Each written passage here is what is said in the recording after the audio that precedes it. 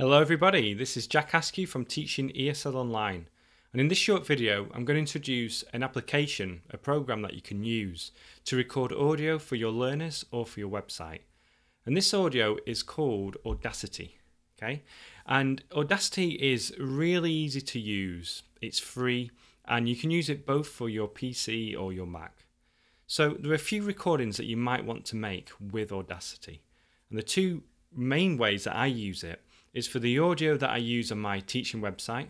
So when I have some kind of audio on a blog post or in a grammar um, explanation, then I use Audacity to record that audio. And I also use it for personalized audio, okay, for my students. So when I send my students something that can help them with some of their common mistakes, I often send them audio. And I'll talk more about this in a, a future video. But just to give you an example, a, a very common mistake from some of my Spanish students is when they say, I have been in London. And I want them to say, I have been to London. And to get them to remember this, I record the audio for them. And also, I, I leave a little space at the end so they can repeat it. So, I'm going to show you what you can do here. So, by just opening up, opening up Audacity and then pressing the record button, we can record some audio. So, I'm going to record something now. I have been to London. Okay, and you'll notice that I left just uh, a, just a little bit more space at the end so my students can actually repeat after this. So if they're listening to a few audio recordings, they can listen and repeat, listen to the next one and repeat, and etc.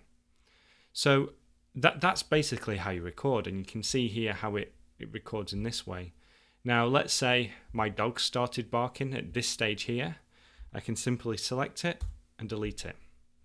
If I just want to export the audio only, okay, I can select this part and export this as well. And I'll show you how to do this now.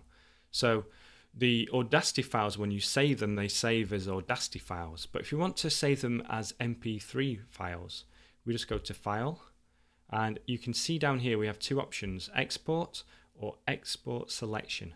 So obviously Export Selection will export the, the part of the audio that you've selected.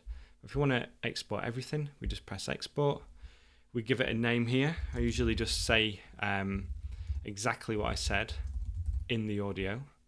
I have this file in here, audio for lessons and blog posts. The format, you can save it in different formats. The most popular one is MP3. Click save, and then just you just ignore this because you can put in the the different um, you know fields for the artist name, track title, etc. But here, just press OK, and then that's exported that um, piece piece of recording. Now on the Mac, there are a couple of shortcuts that you can use, um, and I'll leave them underneath the video. But they are they are Command and R will bring up a um, sorry Command and N bring up a new file. Command and R should be oh no just R sorry is a new recording, and then you can press spacebar as well to stop that. Um, so use Audacity for any kind of audio and let me know how it goes when you start using this program. I'll have the links to the website for you below the video and let me know how you use it with your students. So thanks for watching and see you next time.